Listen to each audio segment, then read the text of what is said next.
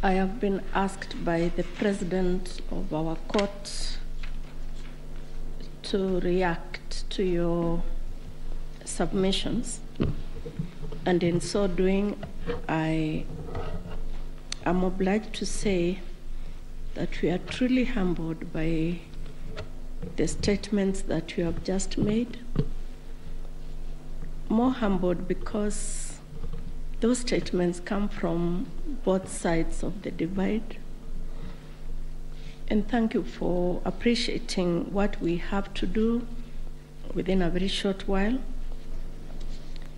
Thank you for appreciating that it wasn't our wish that we were doing what we were doing. We were doing the wish of the Constitution of Kenya 2010, the laws of the Republic, the facts of the cases that you placed before us, and the evidence in rebuttal. We know that, uh, and we have repeatedly said this, the President and I, whenever we have had time to talk to you in other fora, that we are incomplete without this side of the bar. We are incomplete without the advocates. We thank you. We will get opportunity to do that in the main judgment, in the reasoned judgment. But we really appreciate your industry. We were impressed by the submissions you took. And we were impressed, and we said this the last three days. I'll tell you something about that in a minute by how deeply you believed in your clients' cases. That we think is a mark of an extremely grown legal profession, and we ask that you do not, you do not bring the bar down. You keep taking it up. In any contest of whatever nature, and even if we say there are no winners and losers, and even if we say that the winners are the Constitution and the people of Kenya, the truth is that uh,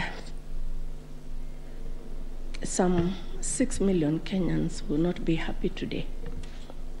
But that's the nature of the work we do. What we hope and we hope you can advise your clients and our brothers and sisters that are the Kenyan people that that is what was expected. One side had to to win. One side had to be in total or a great extent of compliance with the constitution and electoral law than the other side. That's how we saw it. We thank you very much. We, the seven of us, have not slept since we parted company on Friday. I think it is showing on our faces. Um, and we, we thank you that you appreciate that um, we work under difficult circumstances, especially because of time. As ground rules, we agreed when we left you here on Friday that we would not pick any of your calls. A lot of you called us, but we just couldn't pick your calls. And I hope you understand that we couldn't. Um, we, we saw that you were trying to call us, but we just could not pick the calls. I hope you understand.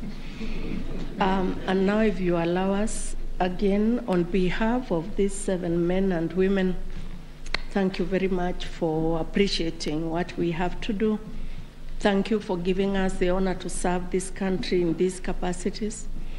And let's hope that we can continue to grow our democracy this way.